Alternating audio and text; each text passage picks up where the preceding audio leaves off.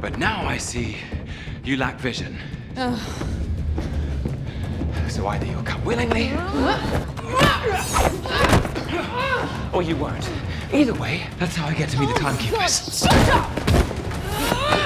Hey!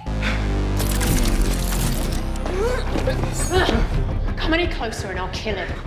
Go for it.